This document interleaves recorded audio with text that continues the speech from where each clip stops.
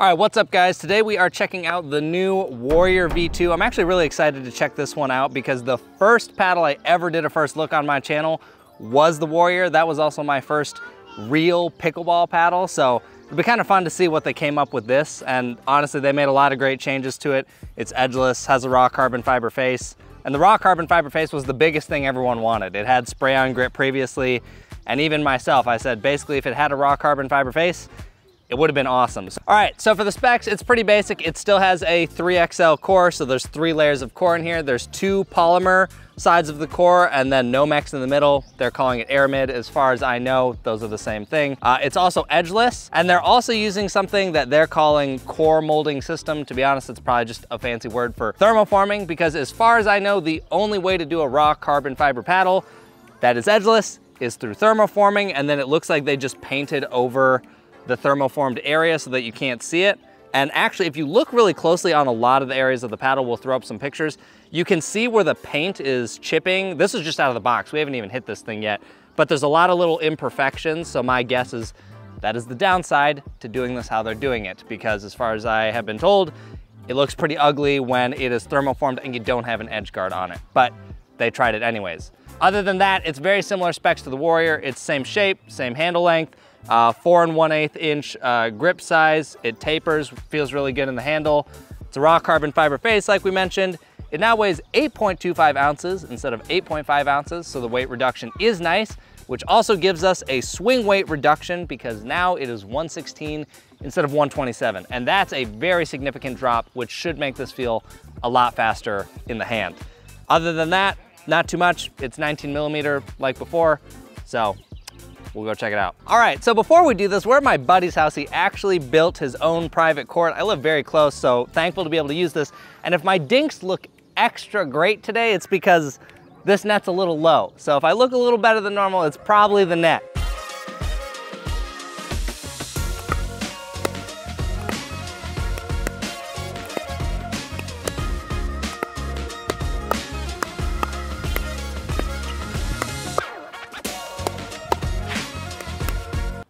Yikes.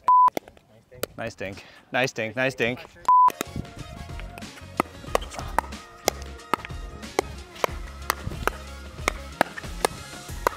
Ah, nice shot.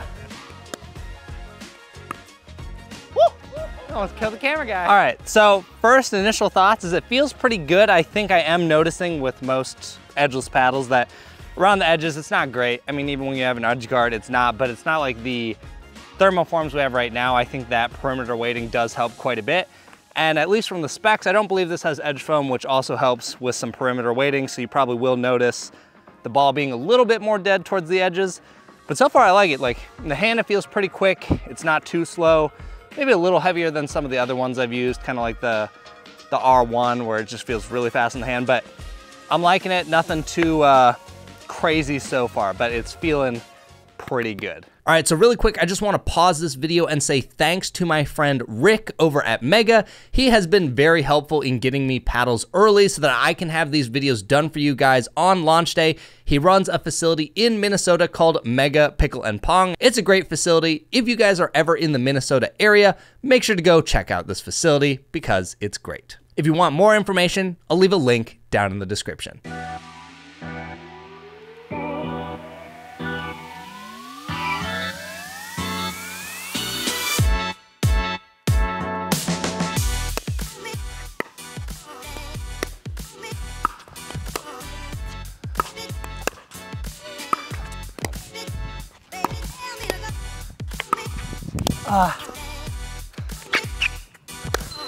Oh my gosh.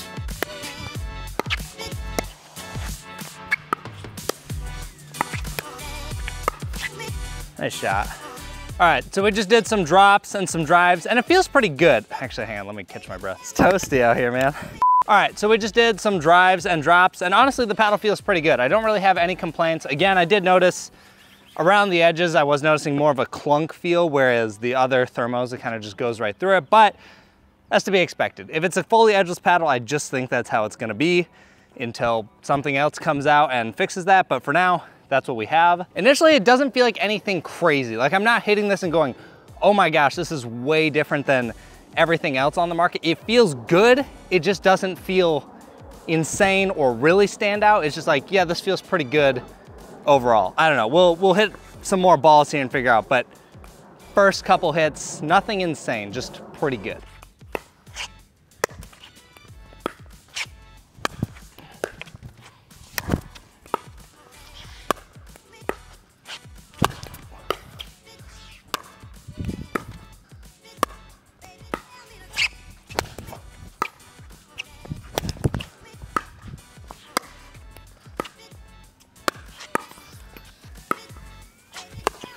I just hit my head. I, I, when I rolled, I went like, I bonked my head. I didn't hit myself that hard, but ow, that kind of hurt. All right, so the biggest thing I'm noticing right now is that off the face, the paddle feels pretty firm. It's not very soft or plush. It's not bad. I wouldn't really call it, firm is the word I would use. It's not stiff or hard, kind of like the 6-0 double black diamond. It's just feels like it's got a very firm pop off the paddle doing a bunch of overheads and rolls and attacks at the net. I didn't feel like it was insane power. I think, again, some of the other thermos I've hit today were Black Ace, they're more powerful. But for 19 millimeter thick, I think you're getting a surprising amount of power. Like I wouldn't call this a soft or a squishy paddle. Like you're still getting good power out of it. So I think when you put it in the context of a 19 millimeter paddle, this is pretty impressive power. All right, just so everyone knows, this is, this is David national director of pickleball at Lifetime, and he thinks he needs no warm-up. So after he gets bagged for the hundredth time, just remember he didn't warm up. Golden pickle. Oh my goodness. 2 It was at this moment that he knew. He fucked up. Nope. Uh-oh. This is not good. Oh, Oh no! You bagged the wrong guy. Oh jeez. That was aggressive. Oh, that's... Look at this net! None of these go over. Oh no! He hit the center post. You already know I'm only putting in the clips where I look good, so you know.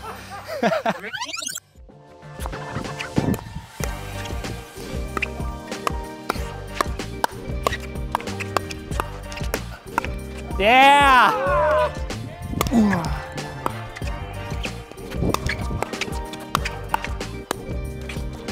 Yeah. 3-5 power. Me. Yup.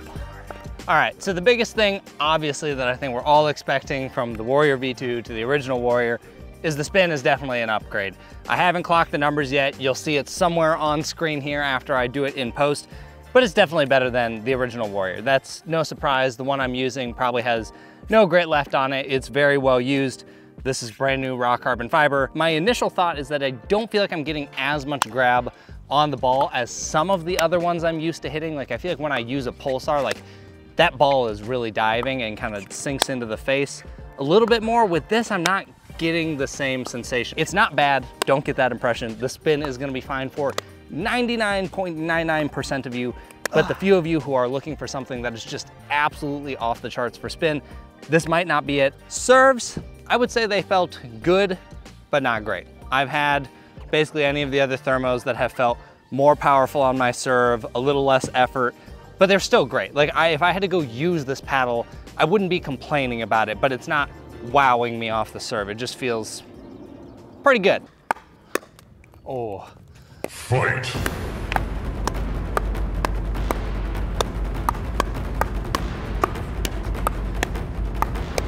I'm not losing. Oh no!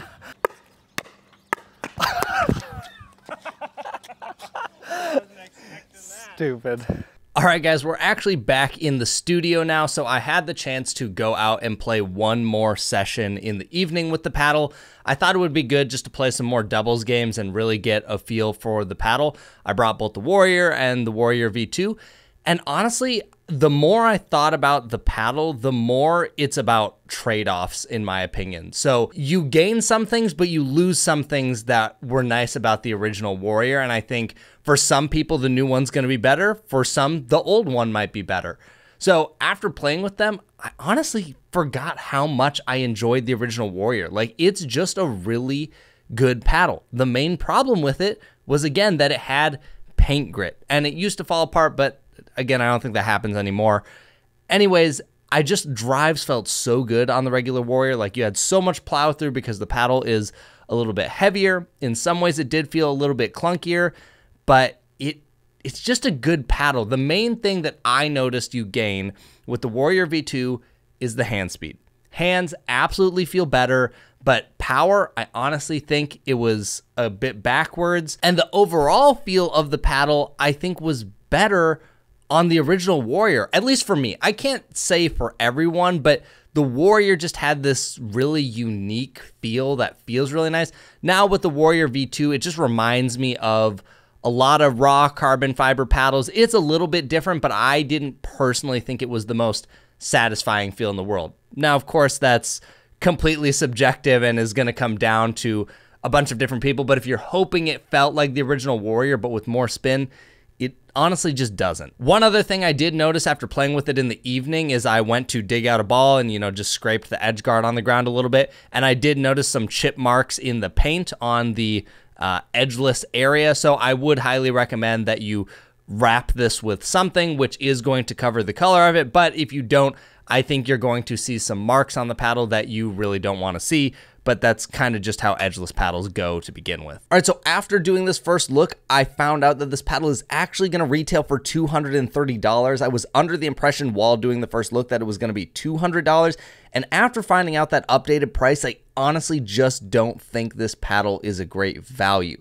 At $200, I was like, okay, yeah, I could see this, but 230, you've just got some really, really stiff competition, and I honestly just don't think at 230 it competes that well. For me personally, there's a lot of other paddles I would want to choose for that price. If I'm going to be completely honest, I think Diadem could have launched this paddle as its own separate line of paddle, and I don't know that anyone would have thought it was related to the original Warrior. I honestly think they're different enough that you wouldn't mix them up. So to me, it doesn't really feel like a Warrior V2 it kind of just feels like it could have been its own paddle. If anything, I actually think it's closer to being a Warrior Edge upgrade rather than a Warrior V2. So yeah, those are my first thoughts on the Warrior V2. I honestly just think it comes down to trade-offs. It's not that the paddle's bad, but you just have to manage your expectations if you are going to buy the paddle. ProDrive actually just recently released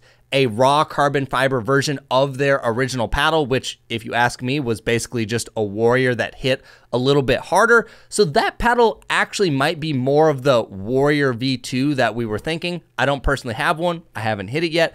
I couldn't tell you, but that's just my guess based on looking at it. That might be the Warrior V2 that people are looking for. And then, you know, the Warrior V2 from Diadem could just kind of be its own thing. So there you guys go. Hope that helps.